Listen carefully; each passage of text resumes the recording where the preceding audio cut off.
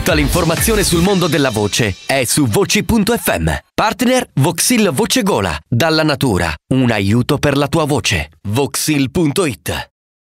Claudio Guerrini, benvenuto al Festival Tulipani di Seta Nera. Che ci fai qui? Eh, che ci faccio qui? Il conduttore, diciamo, il mio mestiere classico, la radio, la televisione, insomma gli eventi sono da sempre la mia, la mia grande passione. Poi quest'anno il tema sociale unito al tema musicale. Dopo 17 anni, come ho detto in conferenza stampa, entro in questo festival. Diciamo che spero nell'effetto Amadeus, che è arrivato per fare un solo Sanremo, ne ha fatti 5. Speriamo di fare 5 festival dei tulipani. Poi però non te ne vai al 9.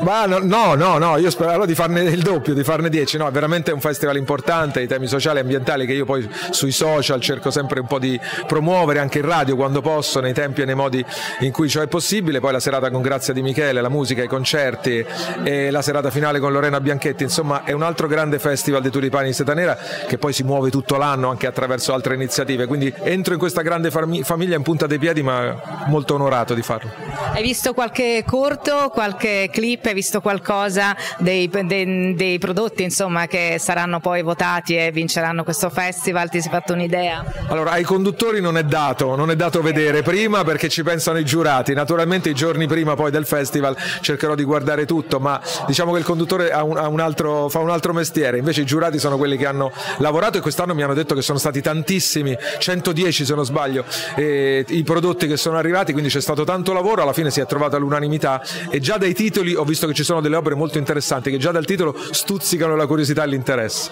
Senti, continui ovviamente su RDS, e come sta andando la trasmissione mi sembra alla grande, che differenza c'è tra radio e tv, tra condurre in radio e condurre in televisione e condurre su un palco come in questo caso?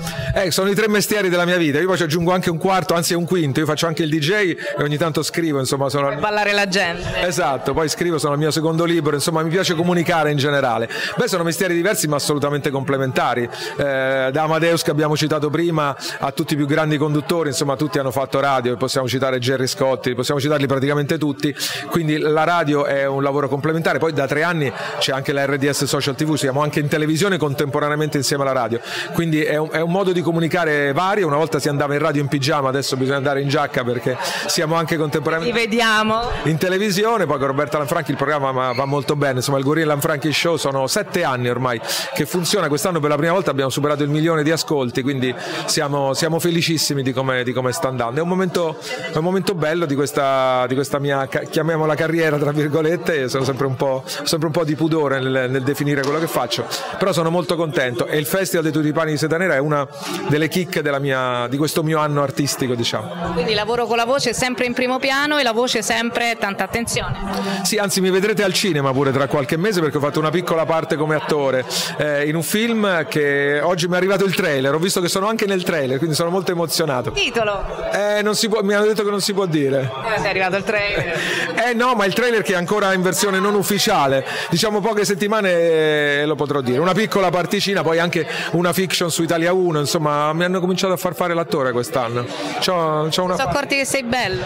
No, sono accorti forse che, che, so fare anche qualcos'altro. No, i ruoli di bello li lascio a Raul Bova, li lascio ad altri, diciamo così. Senti, in ogni caso dicevamo si lavora sempre con la voce, la voce sempre grande attenzione alle tue corde vocali.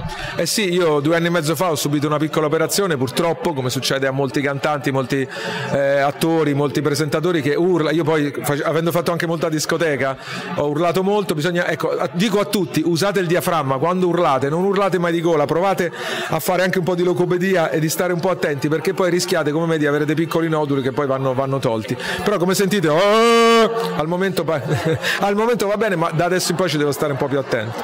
Voci.fm lo dice il nome stesso, insomma io sono nato praticamente con l'FM, ascoltando le piccole prime radio locali e poi i grandi network in FM, quindi già questo termine FM mi è, mi è nel cuore. In bocca al lupo e buon lavoro a voi.